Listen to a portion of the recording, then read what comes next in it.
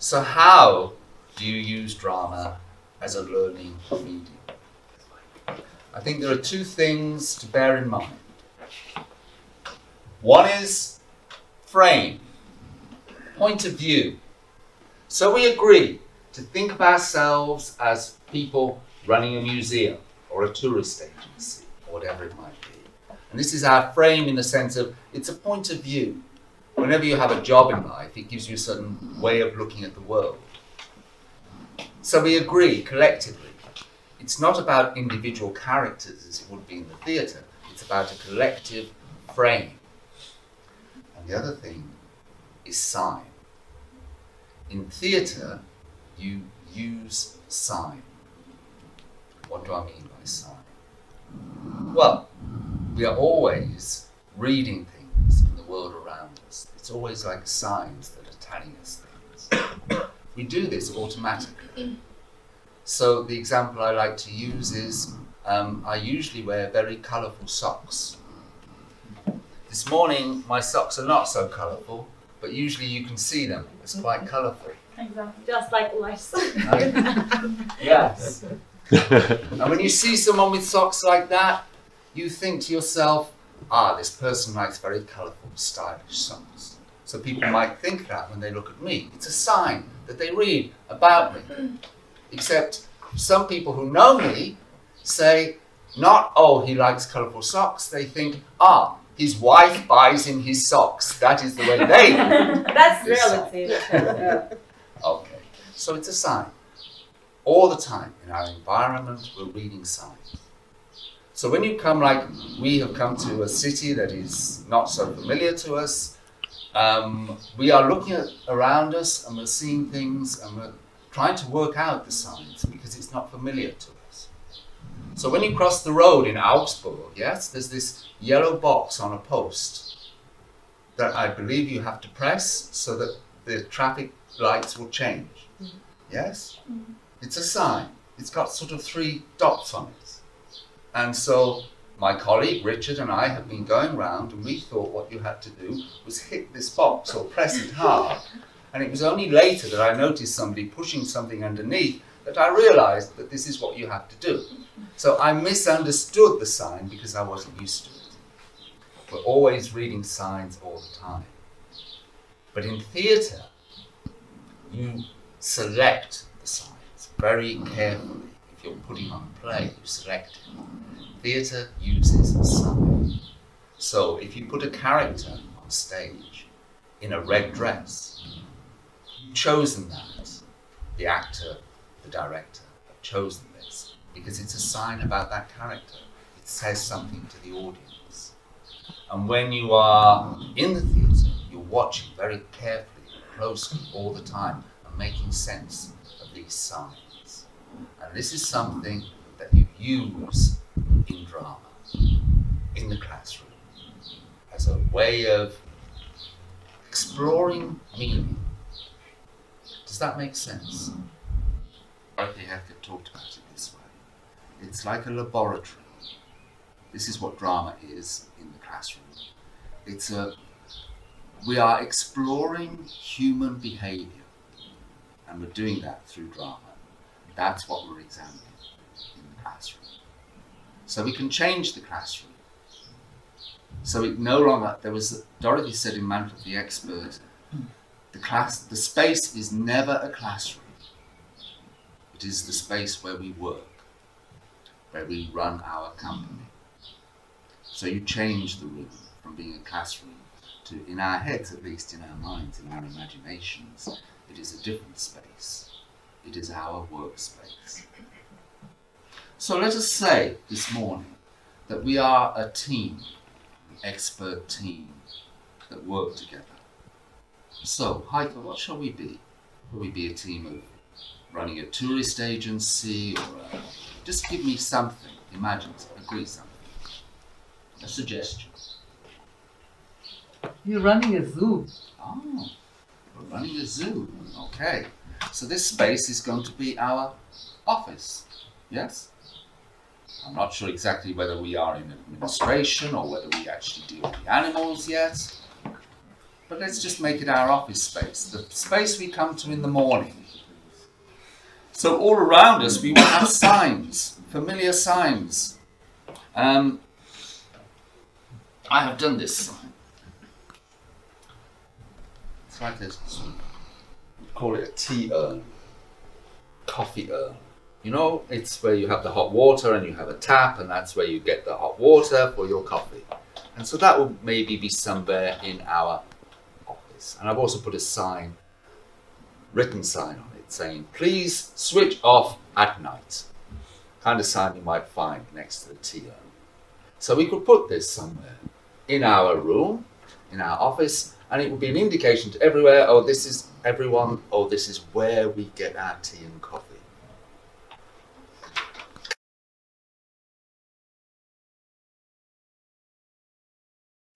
Other signs that there might be in our office. Just ordinary things. It might be a computer, it might be a telephone, it might be um, a rota about jobs that we have to do. There will be signs all over the room. Timetable. Your timetable.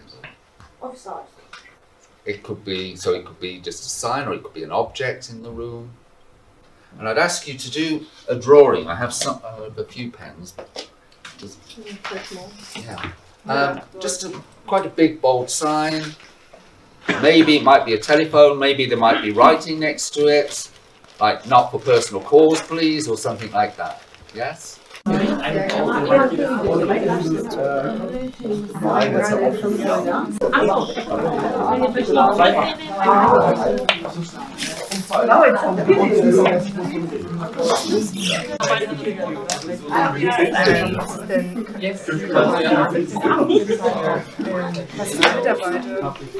So we have signs for exits, first aid. We have a sweet jar, a cookie jar. We have a timetable. Can I ask you to take your sign and find somewhere in the room, put this sign. I don't know if you can attach it to a wall or you put it on a, rest it on somewhere. Where in the room might this sign be? Spread them out around the room. gibt bei uns auf jeden Fall zwei. Yes. Ja, aber dann am gegenüberliegenden Verein. Can we take yours as well?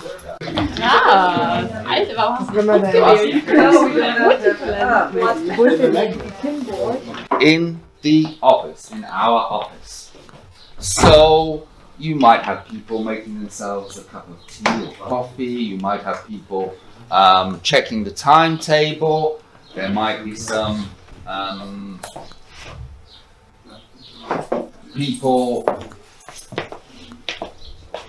getting their coats off or checking they've got everything in the first aid kit. Or can you find a physician close to or near to one of these signs and just take a position where we can see something you are doing on this normal morning. And you just take a position. So it might be you're pouring yourself a cup of tea and you just hold it still. It might be you're taking your coat off.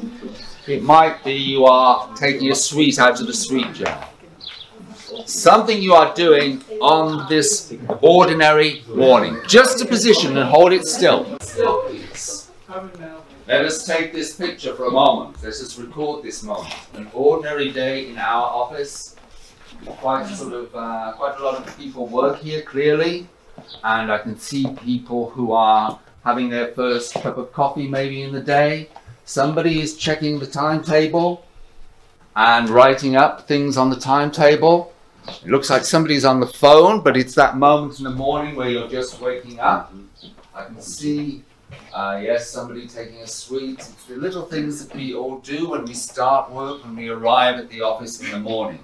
People pouring themselves a cup of coffee, some people on the phone. I'm going to ask you in a moment just bring this to life as an ordinary morning.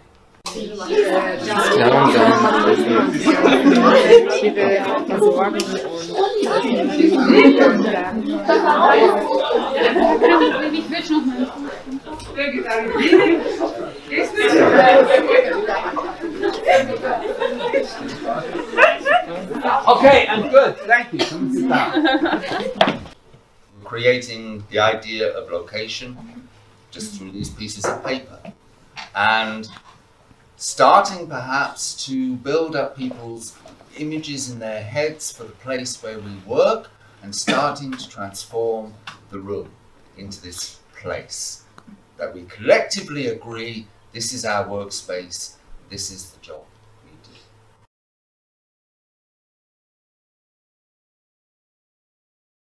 very different way of working for teachers.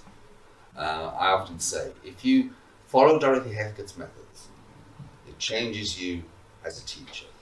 It changes how you think about teaching and learning and how you operate in the classroom. So I'm aware that for most of you this is a new thing. So have you any first thoughts on, on, on what's going on here? what's going on? Why might you work this way? And what were your thoughts? What were you saying to each other? You go back. Yeah, we were saying that what what we allow the students to do is to construct their environment. Environment is not an authentic environment. We are set. We are agreeing on a on a frame. It's an agreement, and how this frame is eventually filled or interpreted is up to the student themselves. And it's um, the idea of constructivism anyway. So this is what we ought to do. So you're constructing it together. Yes, very much as a team. You've got individual images in your mind. Maybe it's individual, but it's also collective. We share this space. Any other thoughts? Yes. Michael, your point. Something really interesting. Mm. yes to bring things up to life and the imagination and also doing this together Yes. There is a drama in the mind, imagination. creative thinking. All of these things are true, yes. There's a thing about, Dorothy talked about how in the classroom, um, things are set up in such a way that for children, it's, they come into a classroom and they enter into this way of being as a student. They are sitting there, they have certain expectations about what will happen in the classroom, the way things will work. And so they, um, just as this morning, when you came in and the chairs were in, in a row and you all sat down and you knew that what was going to happen was you were going to look at something there and you were going to hear someone speak. That was your expectation. So when we're teachers and students in a classroom, we have an expectation of what is going to happen. And in many ways, I think that means that the students are there looking at the teacher and thinking, okay, teacher is going to tell us what to do. That's the way it works in the classrooms. But in drama, you can change all that. You can change the whole room. And when you change the room, you change people's expectations of what will happen in that room. And it gets away from teacher dependence. Do you know what I mean when I say teacher dependence? Children are dependent on the teacher because they're expecting the teacher to lead. So we're changing.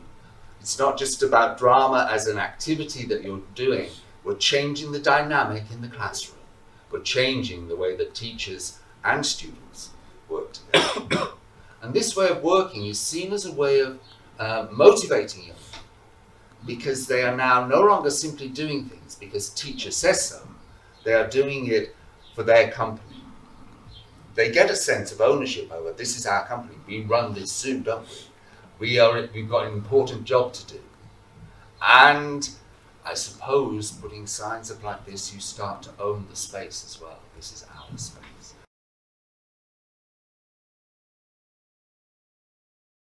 Come on in then. Morning. Morning. Had a nice weekend? Yes. Good. Right. I've been checking over these special jobs and uh, I've done you out a job card because these are obviously important enough to have everything recorded. Who's dealing with that set of invalid boots? Uh, you got started on the design. Good. Well, you'll see there's a job description and any problems that arise That's your work for the day then, uh, Sarah. Uh, can you just get yourself settled down and get stitching or whatever needs doing? You'll find the chairs, the cleaners put them over there, you know what she's like. Uh, who's dealing with that? As Sarah goes off to start on her invalid boots, the factory manager issues the rest of the day's work. To stretch the children's imagination, she's included leather work other than just shoes. A money belt for a bank cashier to wear. Uh, which part are you stitching now? A camel bag for an explorer in the desert. Oh, right. You might need some strong cowhide for that. I'll see Three sets of elephant shoes for a film about Hannibal crossing the Alps. fit that charger in that war museum. Oh. A dog sleigh harness for a team of huskies in the Antarctic. Have you got any of the sewing? And a harness for a steeplejack. And though each child has come prepared with a working drawing of his or her own task, its manufacture during the lesson will open up vast areas of learning as When teacher and design the students make the drama like, work uh, together. Like. No more long. How long did you want? Oh, to the attic again. 32 metres. Unless I use Is this for the uh, is this for the dog uh, sleigh harness? There isn't any more than Can you machine it together? How but it wouldn't then it can't be enough because it's only there's only four, Hmm. six metre bits. Well, I think you'd better just get onto the wholesaler and uh, and order what you think you need. What width of strapping are you doing for the dogs? About three inch. A three-inch Three strap. inch for that main bit. Yes, three inch for the chest harnesses. Uh, How long are you making the actual, uh, you know, reins for the team driver? Well, I mean, not how long, how wide, you know, three inch or? No, they're just an inch and a half. Yeah. Doesn't even that thick, but it's the strong. No, I should think they'd be strong. I mean, really, what you'd use for a horse would be strong enough, maybe, for a dog And team. that's the really strong kind of leather as well. Yes. You mean these are going to be patterned? Yeah. Yes. But when he's wearing it, it won't look like a money belt, will it? Otherwise, they'll rob him. Ah, it's just going to be embossed. Uh, are you going to think of any colour? I mean, is it going to look like a cowboy belt? It's just going to be like a normal belt, but you can be But in fact, it can contain a lot of money. Yes, yes. You'll have to get your dimension. How big's a pound note? Does anybody know how big a pound note is? Yeah, you're going to have to get your pound note dimensions really accurate, aren't you? I'll see if I've got a pound note in my purse and then we'll check that. Uh, have they said how big this fella is that has to travel on public transport with money? No. Well, look, I'll tell you what. Ring Barclays Bank and ask them what size of belt. I suppose we could work it out. Does anybody know what's a good average size for a grown man to have a belt? You know, for this money belt for Barclays Courier. 28 inches waist. Hmm. The cutting machine What? cutting, like. No, I'll see to that. Well, cut it by hand. Thirty-two. What, what's your waist sizes? My dad thinks the forty. Your dad's waist a 40. Well, then we need at least a 40. I mean, is he a good average man size? Well, then, I think make it 48 or something like that till we can check. Everybody knows it's fiction. It's a drama. It's not real. And it's important that they understand it's not real. And they're never fooled into thinking, at least in Mantle of the Expert, that it's a real job they're doing or a real client. And yet at the same time, people take it on board and accept it and act as if it is real. Um, and become invested in it as if it is real. And one of the things Dorothy talks about is we actually learn things in life because we have a need to learn something. We need it now. The problem in teaching in schools is that children are learning something like a foreign language and they don't need it now, immediately. They may be told, oh, you will need this when you leave school, but at the moment it doesn't have that need. But this drama work, Mantle of the Expert work, creates that need. We need to know this now because we need to do it now for our client. what sort of things could you see that was? I think Dorothy, as a teacher, had certain teaching aims that she was working through. So, what kind of things could you observe? What were they learning as they were doing these jobs? Playing, in a sense, at being in a shoe factory. What do you say? definitely problem solving and even though it's an imaginary setting and the children would take very seriously and they were very engaged engaged. So they were encountering problems. I kept thinking oh they could google it but of course they couldn't. So they really had to come up with um, solutions. And they did it by helping each other by um, and she was prompting new avenues as in like why don't you call the bank? Why don't you just inquire this and that? Or asking about proportions and um, and um, really um, trying to get to their world knowledge and think of your father how, how or like how tall is a man and how, how's your waist um, there was maths in it um, yeah, it was plenty. They they have some images and they create their uh, details, colors, little stuff, what they do, uh, and so their experience it's um, like real. You said if it's deeper learning, they will not forget. Yes, in this with this way, uh, they learning very deep, very very good way. So they don't forget this what they this what they do. One thing that you try to do in this kind of work when you're a teacher is not talk like a teacher. So you're not trying to tell them things because you want them to find out things themselves. Um, so you're trying to talk more like a colleague to them. How would a colleague talk if you're running a business together? Dorothy was in a kind of management role but she was still trying to talk to them like a colleague, like saying, "Well, how how big is a pound note then?" Or or um, yes, what would be the usual size of a belt? As if that she's working it out with them, but at the same time, she's got her teaching aims.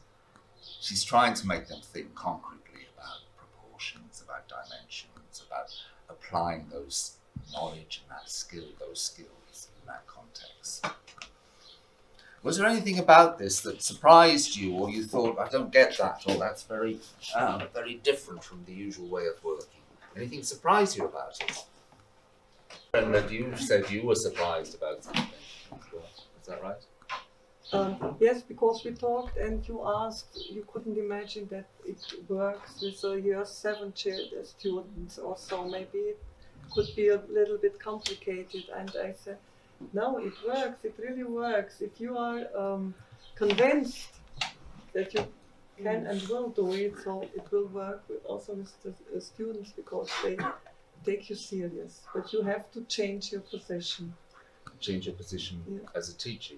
Yes. Yes. Is that difficult? um, if you aren't used to it and if you're going to do it for the first time, thoughts of, oh, I have to change and I have to teach in another way is difficult at the beginning. But if you try and um, first for the first time and you see the reaction of the students, they are going to take it serious because I'm taking it serious.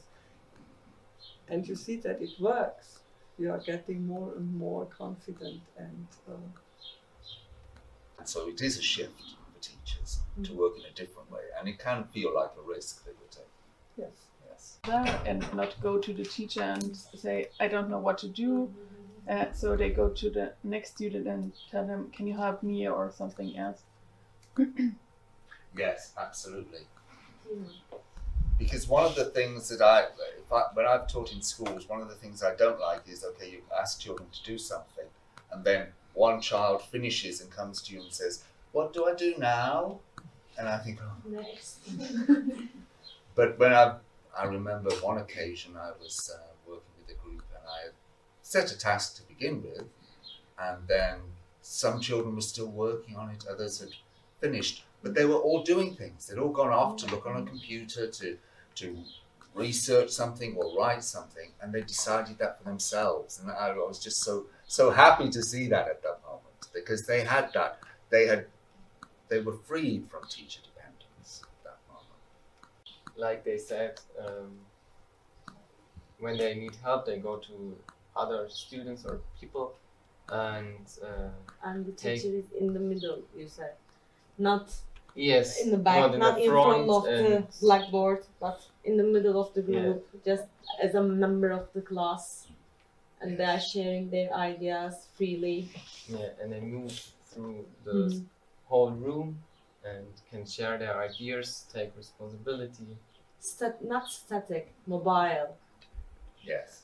So the room feels different. She's done things in that space to transform it so it doesn't feel like a classroom. Mhm. They've got things around them which uh, build up this sense of this is our company and this is our firm, this is where we work. There's um, there's a table, for example, with mugs on it. And when they every now and then in this company they have a break, they have a tea break, and they sit there with their cups, and there's nothing in them. There's no tea or coffee, but they are sitting there like this. And it amused me once with a class. We had a tea urn, and we were doing our mantle, and we actually had an actual break, a real break. I said we need to stop there for 15 minutes, and children were going over to this imaginary urn and making themselves imaginary cups of coffee and eating imaginary.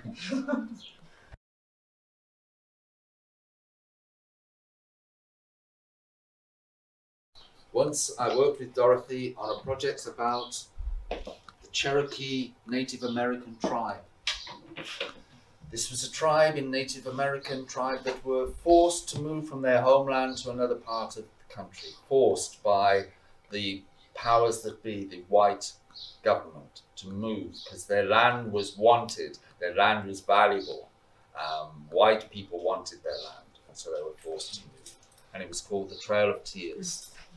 And in this work, Dorothy chose to work on this, which is a, a diary supposedly written by a boy who was a Cherokee and who went on the Trail of Tears. She took this as the starting point and she took extracts from it. So here we have an extract, um, a diary entry about before the Trail of Tears. Jesse Smoke here is writing about a day when he was sitting at home and he was sitting on his stoop, which is like the porch at the front of the cabin. And he's got his, his grandfather's gun, musket, and some white men come. And some white men are standing the other side of the fence, talking and looking at him. Can I have somebody who will be our um, Jesse Smoke with the gun, sitting on his stoop or porch? So Jesse's the Cherokee, uh, yes? Yes. And we have a group of men, although they don't have to be played by men, standing on the other side of the fence, watching, looking, thinking, interested in this land, in what might be hidden in this land. There might be some treasure or gold that these Cherokees have. They want the land, they want the things that this Cherokee might have. There's a sense that something could happen. It could be a dangerous situation. So we need to think about this moment when Jesse Smoke is sitting and he's got his, his rifle. Now we can mime a rifle. We could use this. I once did this with in a university, and I took in to work with the students. I took in an actual rifle. Oh. It was deactivated, meaning it was not working, so it was safe. But I thought, if I tell the university that I'm bringing in a rifle, they will say no, or there will be so much paperwork to do. So I just took it in. I didn't- and it had a, a real rifle had a great impact in what we were doing. In drama, you don't need to have the real objects. You can have something that stands in, like this. But we've all got to agree this is going to be the rifle. And sometimes in drama work, you do choose to use the real object. So we need to decide how Hussein is holding this gun. Hussein knows that these men could be dangerous. And he knows that there could be real problem here. And we know he's cleaning the gun. So there are the men over there. At this moment, just still. He's cleaning the gun, but he's a bit worried. I mean, a bit not extrovert, but a bit worried about the people outside. So he's aware of the danger. So worried because maybe he thinks that he cannot, he's not secure at home. So he knows he's not secure because this could be dangerous. So Mhm. he's not looking at them. So what is he looking at? His rifle, and sometimes outside. So- outside. If he's cleaning the rifle, has he got where's he the rifle? Is it on his lap or where? Well, just show us. What do you think? I think it must be it. I, I I'm not sure, but like that, cleaning. Ready, ready to shoot. If you're cleaning it, then it's not ready to shoot, is it? Sure. You're cleaning it, and he's just looking at that. Mm-hmm. You just take a position. So at the moment you're cleaning it, but let's say start off with you're not looking at you're looking at the gun. Because in this situation you have yes he's just cleaning the gun. But his gl- his gun in his hand is also power, isn't it? Mm-hmm. Sign. It's a sign. Because they know he could use it. He could use it on them. But at the same time, He's afraid. he's afraid. And he doesn't want to have to use it on them. Ready to use, but But he can. And when and if he moved, it seems to me you're saying that I mean Sevgi, you made this gesture which was quite slow. Do you think he would be slowly cleaning? And also there was a suggestion that he might be okay, he's looking down. You're suggesting he might be looking up at from time to time. Is he just kind of checking them out? Mm. Just seeing what's happening? Or is he also just giving them little indications that I know you're there? Possibly. maybe just to give him the the look that I I would if I have to. Okay. And what about those three? They're ready for action, they're ready to take him on, or are they standing close together? Are they avoiding eye contact with him? They're thinking that could we take this man on, I suppose. They're thinking, could we attack this place? Could we steal the money that might be hidden there? But there's danger as well for them, I suppose. So how are they standing? What do we want? What, how do we think they should be? I don't think they want to uh, hide their intentions. They, they want to, I would say, send a message of we're a threat. And he is also indicating that he doesn't want to fight. He's not offensive, but alert. I would say So how do they send a signal to him they are? daring and um, cha- challenging in their way, in their s- strong, huddled, with their rifles in their hand, staring at him and talking, whispering to each other. They're whispering to each other, but they're looking at him. you suggest. Is that right? I think let's just slow that down a little bit. Just be aware that one false move in this situation, and he could shoot. If he feels threatened, he could shoot. So I think anything you do, you'll probably do slowly. Preys and predators, almost like in the, in the wild. If they are, if they're confrontational like this and they look very, they mean business, I wonder what it might be, why they decide not to, or when they decide, what point would they decide to go away, because that's what they do, they don't attack. we shouldn't do that. So It's too dangerous. it's too dangerous. He has a rifle, and we don't know this area. It's better we go. Okay, so they're quietly considering this together. Mm-hmm. What do you think? Is this a good? Could we take this man on? This is what they're talking about. Mm-hmm. Can we just see it frozen for a moment? The strongest image is when you're just looking at them. And I almost feel like you should, when you speak, And you should be you don't even move. But you're talking because you know how dangerous it is. And so it can you can speak like without moving. You can just be saying, what do you think? Should we attack?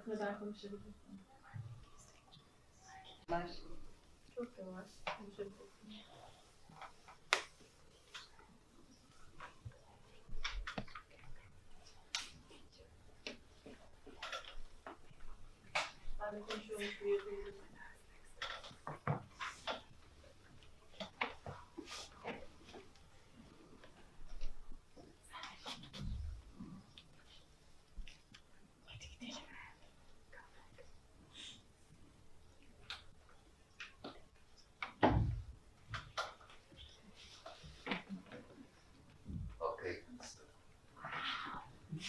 Very good. Very well done.